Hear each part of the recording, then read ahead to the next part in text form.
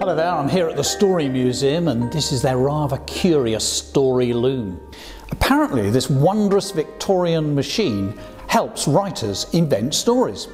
It's the only one remaining now, so you've got to come here to Oxford to see it. A great idea for your next school trip perhaps. If your students can't wait till then, help us at hand in the form of my new book.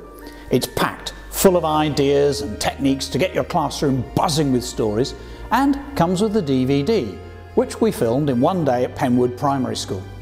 In it we cover oral storytelling, storyboarding, saving ideas, shared writing workshops and much, much more.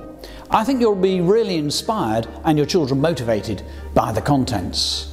I must confess I was more than a little moved by the whole experience of filming there and I hope it inspires you to nurture the next generation of readers, writers, poets, storytellers, creative thinkers that are so vital to our culture and enriching our society.